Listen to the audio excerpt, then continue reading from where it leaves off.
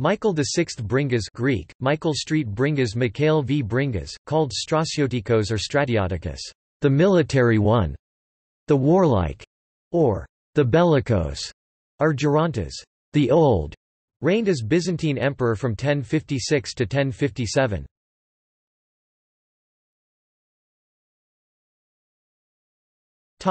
Career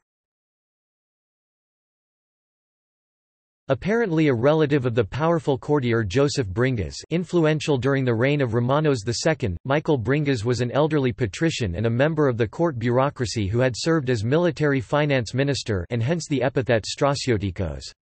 Michael Bringas was chosen by the Empress Theodora as her successor shortly before her death on August 31, 1056. The appointment had been secured through the influence of Leo Perispondylos, Theodora's most trusted advisor. Although Michael managed to survive a conspiracy organized by Theodosios, a nephew of the former emperor Constantine IX Monomachos, he was faced with the disaffection of the military aristocracy. His most costly error was to ignore the perceived rights of the general Nikephoros Bryennios, whom he restored to his former rank after his falling out with the Empress Theodora, but refused to restore his wealth and estates. After dismissing Bryennios's grievances in an audience, the emperor completely alienated the military, which remained a powerful element of society.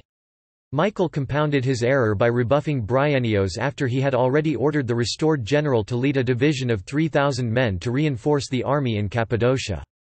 From here Bryennios began plotting to overthrow Michael VI, and it was his capture that precipitated the military nobility to rally around the general Isaac Komnenos, who was proclaimed emperor in Paphlagonia on 8 June 1057. Although Michael lost heart, the bureaucrats around him attempted to defend their position and assembled an army against the rebels. On 26 August 1057, the government's army was routed at the Battle of Petroe near Nicaea, and Isaac Komnenos advanced on Constantinople. Michael VI attempted to negotiate with the rebels through the famous courtier Michael Psellos, offering to adopt Isaac as his son and to grant him the title of Kaisar Caesar, but his proposals were publicly rejected. Privately Isaac showed himself more open to negotiation, and he was promised the status of co-emperor. However, during the course of these secret negotiations, a riot in favor of Isaac broke out in Constantinople. Patriarch Michael Keroularios convinced Michael VI to abdicate in Isaac's favour on 31 August 1057. The emperor duly followed the patriarch's advice and became a monk. He retired to his private home and died there by 1059.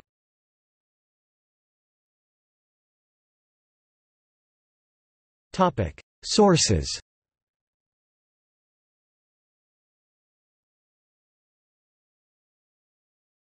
Topic: Primary sources Michael P. Psellos, Chronographia. Thurn, Hans, ed. 1973. Ioannis Scylitzae Synopsis Historiarum. Berlin New York, De Gruyter. Topic secondary sources Norwich, John Julius 1993, Byzantium, The Apogee, Penguin, ISBN 0-14-011448-3 Kazhdan, Alexander, ed. 1991, Oxford Dictionary of Byzantium, Vol. 2, Oxford University Press, ISBN 978-0-19-504652-6 George Finlay, History of the Byzantine Empire from 716-1057, William Blackwood and Sons, 1853 This article incorporates text from a publication now in the public domain, Chisholm, Hugh, ed. 1911. Michael Emperors. Encyclopædia Britannica. 18 11th ed. Cambridge University Press pp. 359–360.